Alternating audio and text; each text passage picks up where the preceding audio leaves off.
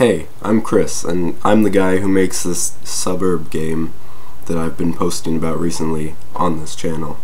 Now, one of the things I've been asked about a lot is how I get the animations so smooth for the main character, and I figured I'd just make a quick video about it to show you exactly what I do to get that.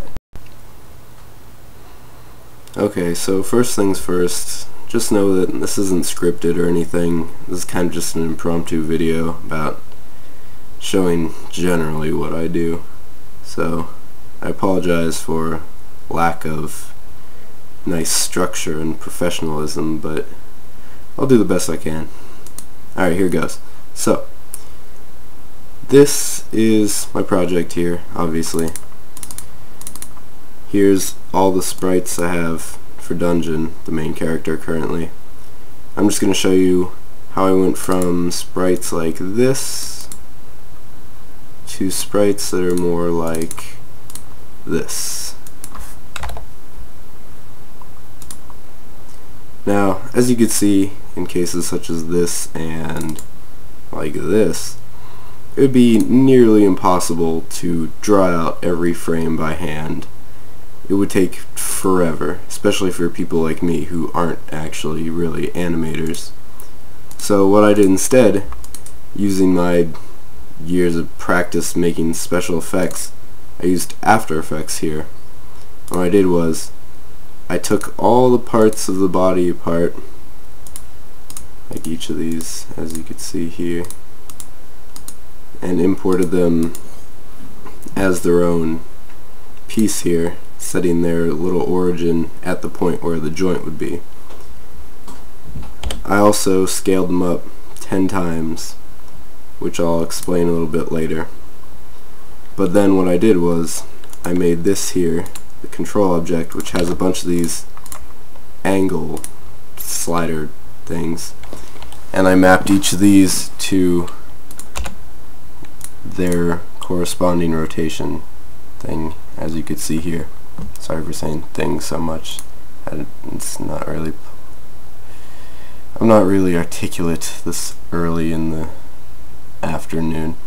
Anyways, so that way, when you're in the control object here, you can modify these to move the different parts of the body in a smooth fashion. And then what you could do with that is come in here and you can actually keyframe these different parts so that in cases such as this you could have a single smooth movement between the two points.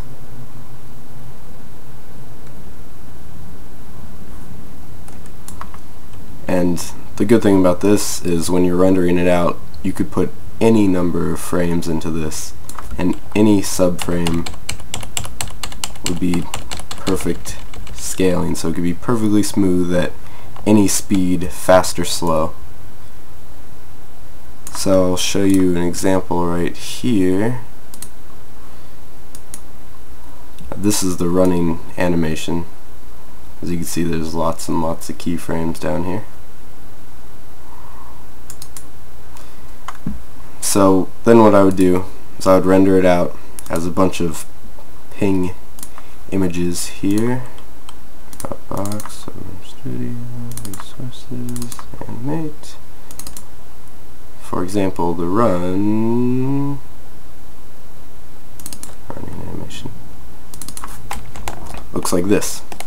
Now see the important thing about making it 10 times speed like I mentioned before, or 10 times size, is that when it animates it has these nice hard edges as opposed to being pixel edges. So that way when it gets diagonal and whatnot it looks nice and crisp when you scale it back down. As I'll show you in a second. Run. so what I do is I would load in all of these at once can see there's 119 currently and it'll take a few seconds or one and then since I already got this nice smooth animation, I scale it down pour. Make sure you do that because that takes nearest neighbor scaling. That way it has nice crisp edges and not blur. I scale it back down to its regular size and doing that I have all these nice outlines and everything. I'll show you if I don't scale using that. You got all these gross edges and glows and blurs when it gets in between pixels. So, that's basically the extent of the process. I then take that small image that I just made, I let it run in the engine, set it to image speed of 1, so that way it's one frame per frame of per frames per second, so that way it's smooth, and that way I could scale down the number of sub images because having an image speed of 4 or something is really not necessary because then it just skips over those images and you never actually see them and that wastes space. And so the very last thing that I do in this process is I make sure to put them all in the same texture group. So that way, how texture groups work is you can only have a few pages in memory at one time and if you need to retrieve an image from a different texture group it could take a quick stutter to load in that. So I make sure they're all in the same thing so they're all loaded up at the same time. and that's basically it. Um, I can't really think of anything else to add to that. That's pretty much the process. And yeah. Alright, well, thanks for watching. If I'd missed any glaringly obvious things, please let me know and I'll revise this. Alright, see you later.